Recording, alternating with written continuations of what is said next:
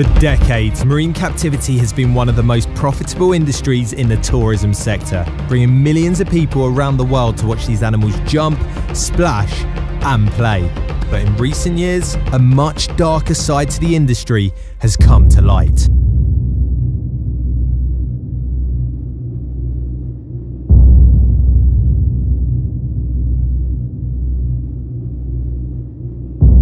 Whilst many of the marine parks are thousands of miles away, Europe still has over 30 dolphin area and some are closer than you think. My name's Johnny Meir and I'm flying to the southeast of France, less than two hours from London Gatwick, to Marineland Antibes. I want to see for myself exactly what goes on in these parks. You know, I don't want this to be a propaganda piece. I want everyone to have their chance to have their say on the matter and I think that's the only way that we can move on. I want to find out what life is like for these animals. It's a prison. That's, that's exactly what it is. It wouldn't be releasing it, it would be kicking them out. What goes on behind the scenes. I personally drug whales at Marineland. Yeah, she's, she's trained for it. She's trained for artificial insemination. And where, in light of SeaWorld's decision to ban the breeding of orca, do the likes of Marineland see themselves now? We're talking with them about why, for a start, they would do this. Welcome to Antibes, a piece of paradise on the French Riviera, famous for its fancy super yachts, crystal clear Mediterranean waters, and its gorgeous old town. And with around 1.3 million tourists visiting it per year, Antibes also lays claim to the biggest marine park in Europe and the only French sea park to have orcas. I have to say, first things first, I was really shocked that France even had dolphins and orcas in captivity in the first place. You know, I thought they were. Uh, a country that was similar in, in, the outlook of captivity for these sort of animals and marine animals as we are in the UK. I understand there are two sides to every story. So, you know, some people say that it's an educational experience, whereas others think it's, it's, you know, demeaning for the animals and things like that. But I want to see both sides of the story, so I'll be hopefully meeting up with the guys from Marineland to find out their opinion, and also uh, the world famous marine biologist, Dr. Ingrid Visser. But first, I'm heading off to meet with the Born Free Foundation, who, along with Ingrid, have been analysing marine parks across Europe to make sure they're complying with a piece of legislation called the EU Zoos Directive. This research that you're doing, what sort of things have you been seeing so far in Europe? Well, we've seen a lot of stereotypical behaviour almost in every facility. So that would include chewing on the concrete, logging, bobbing up and down, burping. Um, we've seen a lot of regurgitation of their food. And why is it that they do this, do you think? What's the prime reason? One word, boredom. And how can you tell that? There's just nothing stimulating for them to do other than the feeding session and the training. So there is some training to alleviate the boredom, but it's the same training they've been doing for 5, 10, 20 years. And there's nothing in the tank, just the concrete wall. What's the overall solution? Because they can't just be chucked out and into the wild, surely. There are, of course, obvious solutions to this. The quickest, easiest and most realistic is to end the breeding of cetaceans in captivity. You know, even if that was implemented, say, next year, the industry would have, I don't know, around 40 years to continue displaying the newest generation of animals that it has. And then in the meantime, we could look at seaside sanctuaries. So hearing from Born Free today was enlightening and it was great to hear their opinion, but I still want to hear from Marineland, and we haven't heard from them yet. I've emailed them, I've phoned them over the past couple of weeks, and I've had absolutely nothing back. So if I don't hear anything back after this email, then I guess I'm going to have to go in there and see if we can speak to them, you know, face to face, and see if we can get that interview there. Um, I'm going to send this email, head to bed, and hope that we get a response in the morning. Today, I want to see Marineland for myself and look at things purely through the eyes of a tourist.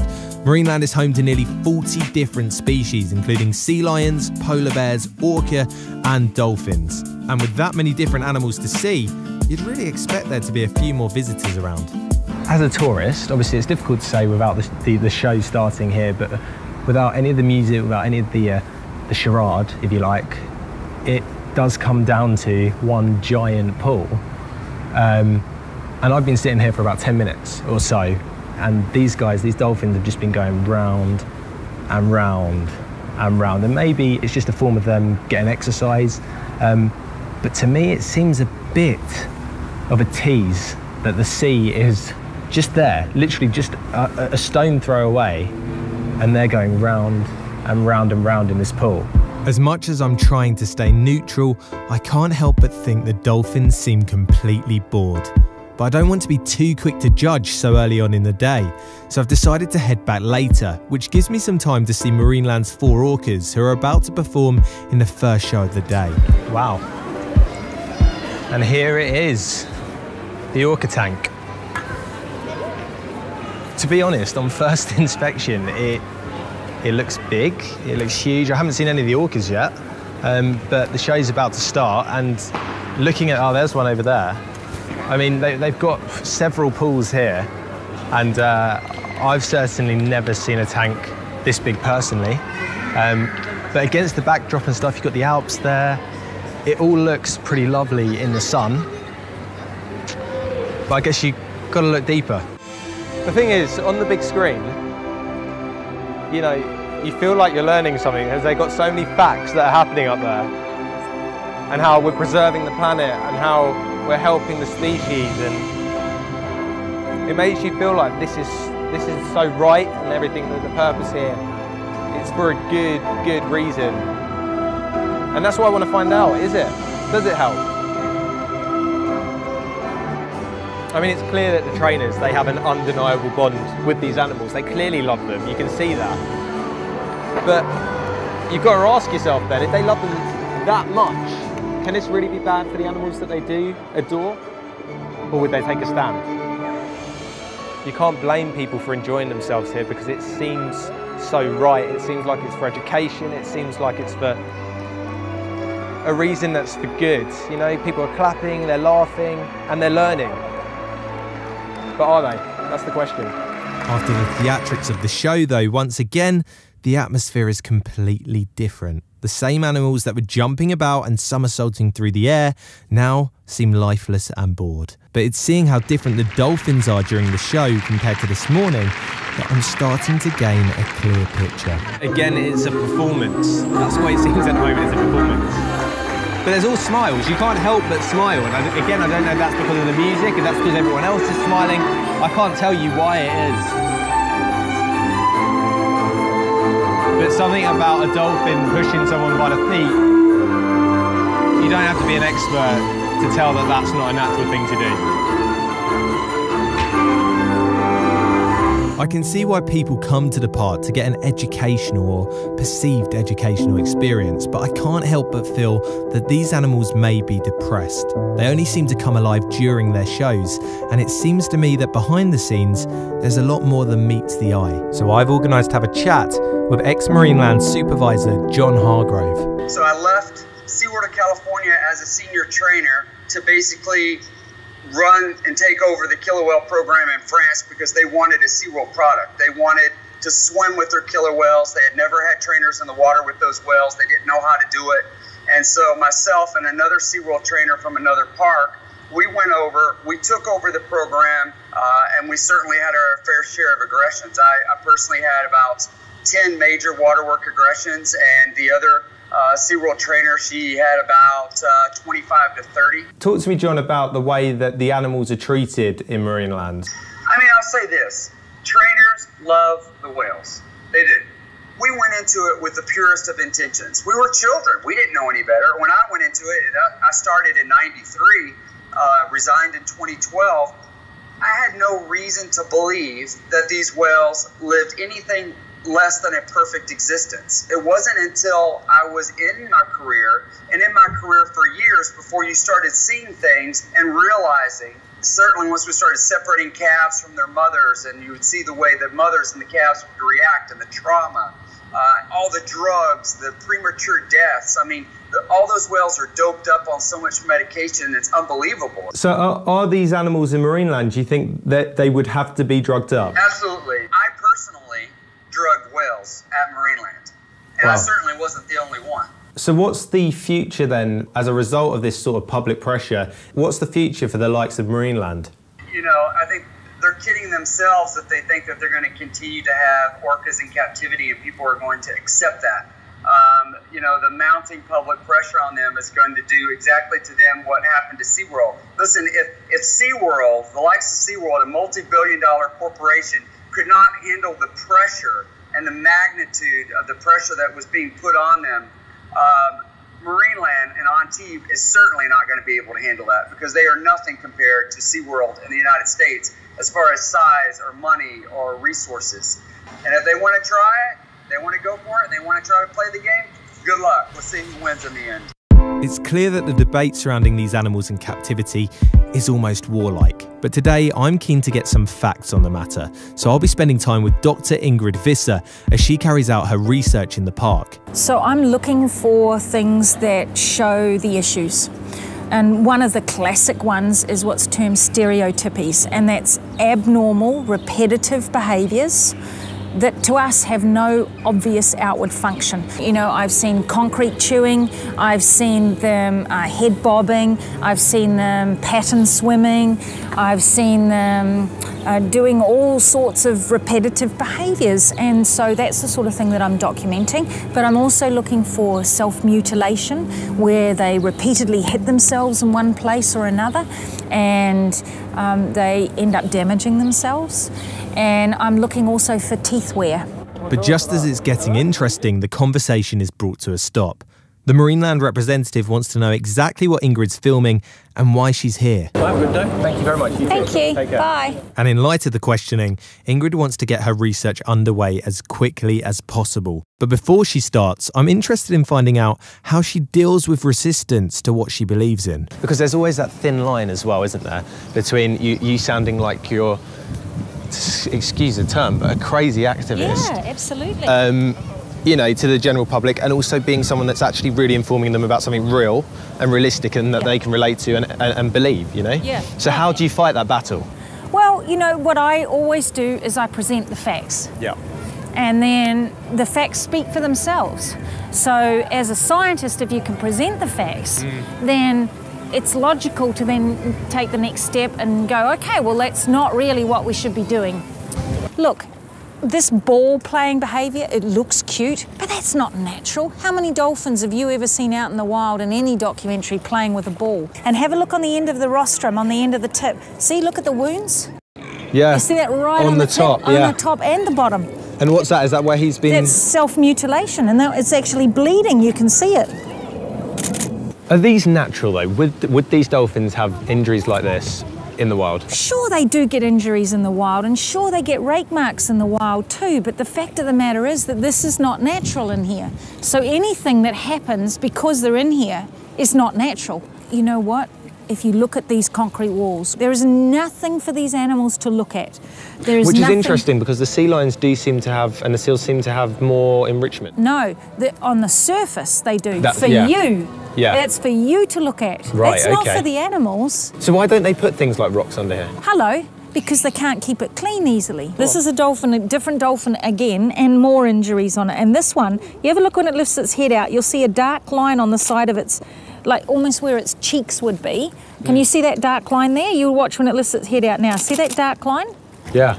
That is because it's unnaturally bending its head like this so all the time. almost like a stretch mark, is it? Yeah, well, kind of. It's a crease from look lifting its head above the surface all the time. The observations that Ingrid is making are so easy to miss for an untrained eye. But judging by what she's saying, there are also strong indications of distress within captivity. And it seems that in Ingrid's eyes, things are just as distressing for the orca. What does it do to you when you see them in a place like this? This makes me feel ill. It makes me feel disgusted that humanity can do this to these amazing, intelligent animals and think it's okay to sit there and clap and laugh. And, and it's very demeaning for the animals. They have no choice. Uh, but argu- I I mean, arguably, the audience clapping and stuff, that's not them. You know, it's not because of them that these orcas are here, that's because of the park. But it's, I No, suppose, they're not- they they the orca are here because of the people. from a tourist point of view, if they were to come here, Yeah. They would see this tank and they would think, oh, you know, it's, it's a decent size. Not taking into consideration that, oh, it's a decent size, it's nothing compared to the ocean. Yeah. But they'd look and they'd say it's a decent size. Right, and this is what I mean about the education. They're not educating them that these animals would normally travel 200 kilometres a day, right? A day, and not just for one day, not just for one week, but all the time. That's what these animals do. And what do you think they're getting here, roughly? Well, I've watched between the shows, and mostly the animals are stationary, they're not moving at all. And, you know, unfortunately, the aquarium gives information to the public and says, well, you know, we provide them with food so they don't need to swim. Well, that's a load of rot because these animals have spent millions of years evolving. They have a need, a biological need to swim. That's what they evolved mm-hmm. for, for swimming. So if you keep them penned up, then you're going to have a problem with that. To me, seeing this, there appears to be a real connection between the trainer and the orca. Is that just to an untrained eye? Yeah, I mean, the only connection that the orca have to the trainer is that they give them the food. If you went in there and, and fed them for a week, they'd have that connection with you too. It's not a bond. There's a bond certainly on the human part. You can't deny the fact that Oh, these guys. sure. Yeah. I mean, you can't tell me that these guys don't care about them. You see them interacting with the orca and, and they spend a lot of time with them. That, that's not the point. The point is that the orca have got no choice. It's a prison. It's, that's exactly what it is. But it's even worse than a prison because the prisoners have done something wrong. These guys did nothing wrong except for look beautiful. I can tell Ingrid's passionate, but I'd like to see some more evidence of what she's witnessed, so I've agreed to meet with her later in the day. But first, before I leave tomorrow, I want to try one last time to give Marineland a chance to have their say. But it seems they're making this as difficult as possible. And after waiting, waiting, and waiting some more, the lady I've been trying to contact for months has come to chat. And somewhat surprisingly, has agreed to an interview in the park tomorrow before we leave. So that went weirdly well. We've been told, yes, we can have an interview. It's just whether it now they deliver on their promise. I've got another number to call, which I don't know why I didn't get given it beforehand. Um, but we're going to call them. And hopefully, tomorrow, we'll have that interview sorted. Brilliant. But after ringing the press office as suggested, that phone number doesn't exist. Convenient. Thankfully, after a very long drawn out process and a bit more digging around, I've managed to speak to their press officer. They told me that they'll call in the morning to confirm, but I have to say, I'm not convinced. All right, so one of the first things that I wanted to do was just show you some of the teeth. You can see, especially on these, how the tops are just worn off. So they would normally be pointed like this. Yeah. Right. And so here, the wear has got to the extreme where they've actually had to drill in to take out the pulp. And so if she goes and smacks that on the concrete, it's likely to just fracture. But the interesting thing is if you see the, these teeth like this, that's relatively normal. Uh, but I'm going to show you another orca where you don't see any teeth at all. Wow, And yeah, there's look- literally nothing. Yeah, there's literally no teeth. So no teeth in the back row and no teeth in the front row here. So the big push in captivity now is that they're trying to challenge people like myself making statements about the orca's teeth being worn in captivity, and they're saying things like, "In the wild, some orca have got worn teeth." And they are correct. But again, they're distorting the message mm. because in the wild, that happens through prey handling. Well, there's none of that going on, right? it's straight down the throat through the type of food feeding that they do. So we believe it's possibly suction feeding, sucking things in. Well, again, hello, that's not happening. The, the truth of the matter is that these animals in captivity, their teeth wouldn't be like this in the wild. This is the calf. So if you look at this, okay, they look mm-hmm. like a series of V's. Mm-hmm. Those are from where the rake, the teeth went in and then the, the orca moved away. So they've left this V mark. I mean, look, rake marks happen in the wild, but you don't see calves generally bitten like this. And what's interesting is, even while we were there, this was happening. So this was yesterday. Today I've got another photograph. So you want to see these V marks? Yep. So here we go. Here's the V. I can see straight and away. here's the ra- uh, the little round one, and here's new bite marks. Yeah. Look at that, and you can see right there the fresh flesh. So this is what your ticket buys you. I mean, you were asking me before what what are the solutions out there. So Yeah. let's have a look at something. One thing that I've been involved in is the concept of a cetacean sanctuary or a sea pen. And this is a very real island. Okay. And- well, if I told you, I'd have to kill you. okay, all right. I mean, it doesn't matter where the island is. All right, So- what I'd say to you then instead is could this be Europe? This island could Yeah. be anywhere. So the idea here is that you can have multiple sea pens, so they're, they're separated. Mm -hmm. But if you wanted to, you can open up a gate in between, or you can remove this net here, and the animals have got a bigger area. And then also, this is a corridor that we can move animals from one pen to the next. And the idea as well is that let's say that we've got an animal that's now transitioning into a rehabilitation process mm-hmm. because it's got good potential for being released out into the wild. So we want to distance it more and more away from the people. Perhaps it comes back at the end of a week and we reassess things, or it might just be bye bye dolphin. So do you think that these sea pens and sea sanctuaries could end up being led or driven by the current aquariums? It'd be fantastic if they did that. I mean, these are the guys who have the current knowledge on the medications for the animals, on the food for the animals, and sure, we want to help them improve, but they know those animals best, Yeah.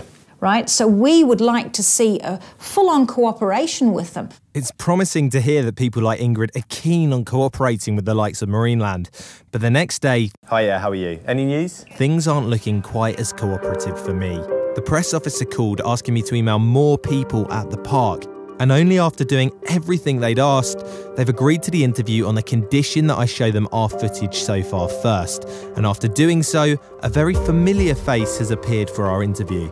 This is John Kershaw, the zoological director of Marineland. He knows everything there is to know about the animals in this park and why, for one, Marineland had them in the first place. For one thing, for shareholders, they make money. Let's not make any bones about that. They're- they're- we're a business. We, we're, we are not financed by anybody from outside. Yeah. So the care we give to our animals comes through the money that our visitors give us, so we have to make money. As far as public perception is concerned, yes, it's changing. The public uh, are asking for more.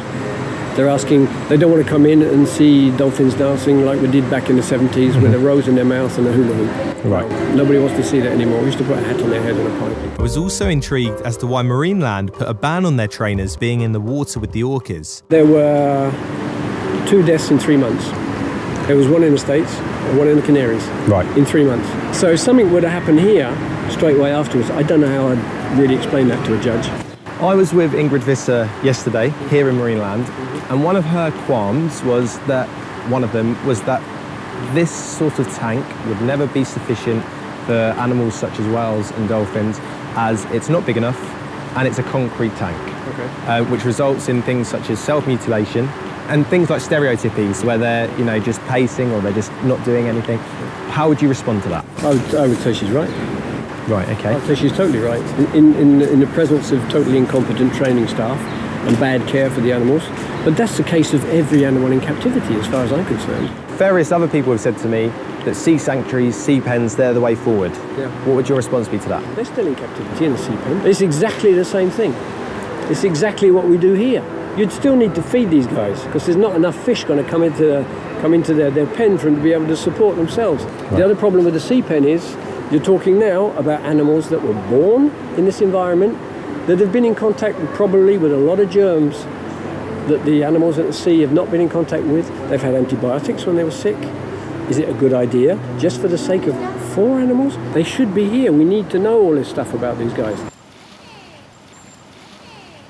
What about these lesions here? Yeah, those are the, well. This is an old animal for a start. Right, okay. there's- there's- those are those are scuff marks. Those are those are grazed knees. Those are mucking about. Don't forget these guys have got no hands. Huh? Yep. If they want to find what's going on, they're going to do this with it. They're going to push it around. They're going to they're going to muck about with the bottom of the pool. They're going to they're going to take algae. They're going to pick up fish from the bottom if there's any there. Yeah. They're going to get their toys from the bottom. So obviously that's the first thing that's going to come into contact with anything. So when they're kind of what looks like they're chewing on the concrete, for example, what's their reasoning behind that? It's just investigation. It's just messing about. It's just something else to do. But it's another reason. It shows that these animals are permanently inquisitive and permanently wanting to learn. There was also um, on Ingrid's research that she did, there was a crease on their neck. It's because they spend their lives vertically. Right. Probably, yeah. So yeah, that I'd wouldn't be. that. You'd agree with that? Yeah, I think, yeah, thing I'd never thought of that, to be honest. Yeah. But yeah, why not? Upright is not a natural position Okay. because what happens down there Yeah. in the wild is very important to them. Because something could come and I don't them. think you'd ever see a wild dolphin vertical Yeah. looking around like this. Yeah. Or if you did, there's something wrong with it. So no, no, upright is not is not the way they would be. In, in, but don't forget, their their world is outside the pool. Well, that's the final thing I want to ask you. is everything is outside the pool. I'm guessing for the purpose of the audience. How comes there aren't rocks and things for them to interact with under the pool where they spend most of their time? Because they do that more often. So it which get is what their- they do in the wild as Right. well.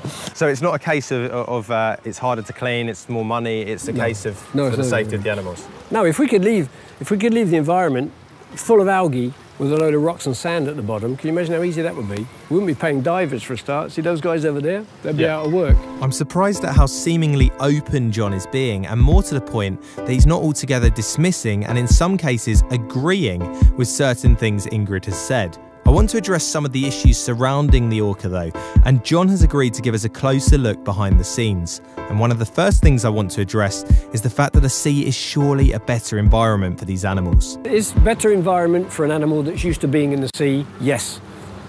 But this is a better environment for animals that were born in this environment. And you're never going to convince them to the contrary. So they would never, in your eyes, be able to adapt out there? Why would they bother? They're, they're, they're, constantly, you'd have to brainwash them. You'd have to take away everything they know at the moment. It just wouldn't be fair. It wouldn't be releasing it, it would be kicking them out. Some people say to, have said to me, including Ingrid, that it's all motivated by food. Yeah, that's what I used to think. Maybe she should come and work with us for a day and see how it works now. When she was here last, it probably was still in that era, you know, in, in the 80s. But don't forget, if your motivation is appetite based, as the appetite goes down, so does the motivation. If it's no challenge, they're going to go, well, yeah, they are. And that's not interesting. The orcas seem reluctant to come to the back pool where we're filming, and I can't help but wonder if it's due to the difference in pool size. These pools are much smaller, but it's not because they're smaller that they're not as good. The main thing is that you have to have equal interaction in every single pool. You can't have one pool that you use just for parking the animals. They just get out of the way, go out the back. There's no out the back. There's no, let's go and do this in another pool. But don't forget, there are social ties that you have to respect as well. If you say to a mother, you go there, we're going to work with the baby, and she goes, no, no, no, no, no, which she will. She's a mother then you can't, there's nothing you can do about that. Natural bonding is not something that you can pull apart, which is why they say if we, we separate mums and babies, you try. And as mother and baby arrive, it's Marineland's male calf that I want to find out more about. In your eyes, then, is he a potential breeding male? He is in, in the world community, yes he is, but not here, not, Right. with, not with his mum. He is a potential giver of sperm, yes. And you do hear stories of inbreeding oh, within captivity. Oh, it happens in the wild. Right. At least one generation must do. Does inbreeding happen? Has it happened here? I'm sure it has done, yeah. So, looking here, this baby's got a rake mark. When you get fighting animals, the rake marks are all situated around the head area because they go head on. That's underneath. That's, that's playing puppy dogs. Whilst this may be the case, I can't help but feel that if this orca was being attacked, surely it would try and move its head out of the way first, and as a result, the other orca's teeth would catch its body. But it's the comments that Ingrid made about the adult male orca's teeth that I'd like to address with John next.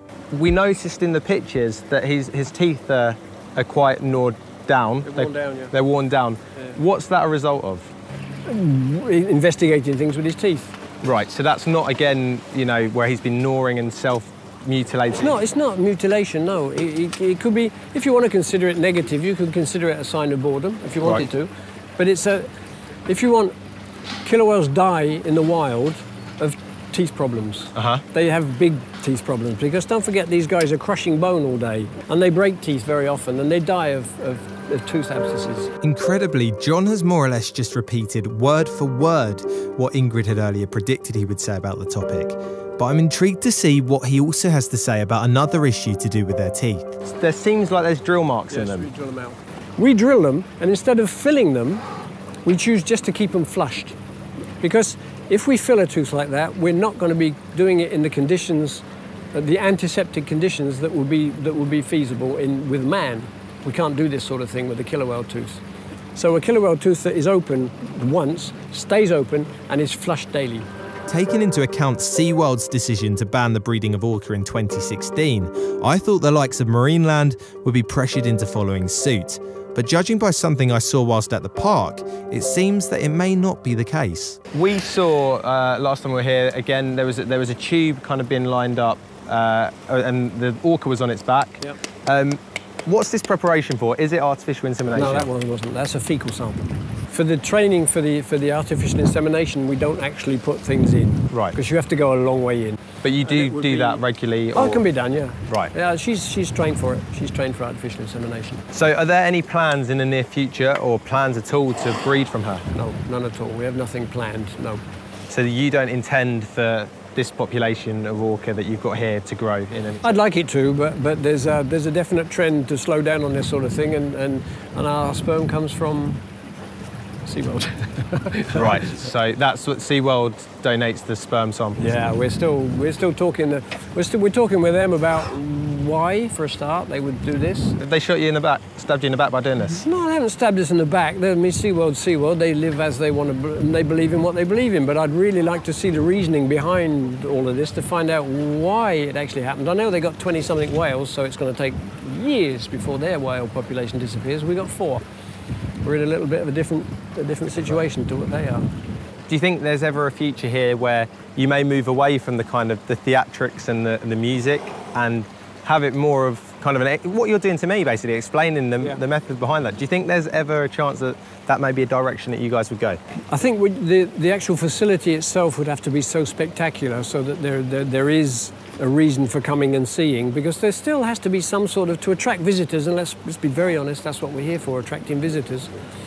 To attract visitors, there would have to be a, a, a fantastic facility that would attract if there's not the, the, the show of the animals themselves to attract. But I'm sure we're going to go towards a situation where all pools will have tunnels, there'll be different areas you can visit, there'll be small coves, there'll be water currents, there'll be. I'm sure we're going towards modern facilities being more and more natural. I'm sure we're going to go that way. And I'm sure we're going to naturally move away from everything we're doing now simply because everybody's seen it. And it will be and it will be crippling financially to continue doing the same thing when the public is asking for new things all the time permanently. After four days at Marineland, I'm leaving with real mixed emotions. I have no doubt that the staff who work with these incredible animals love them dearly, but I also can't help but feel the people behind the scenes see these animals as nothing more than a way to fill their pockets, and are too far removed to see that these animals, regardless of whether it's self inflicted or not, are silently suffering in what can only be described as a modern day marine circus. But the reassuring thing for me is I've realised that the prospect of organisations, marine biologists, and hopefully marine parks working together to create the best future for these animals isn't a million miles away. And one day, I'm sure you'll only be able to see these animals where they truly belong.